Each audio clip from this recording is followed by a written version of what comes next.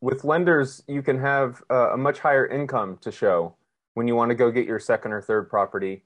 And at the time of the purchase of my first single family,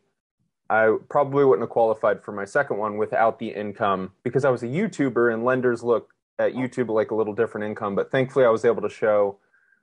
about I can't remember what, exactly what they qualify me for because the income for my single family they look at the market rent they go wait a second you're you're claiming how are you 40, doing that yeah I'm claiming forty six hundred on my taxes and the market rent's like twenty two hundred or something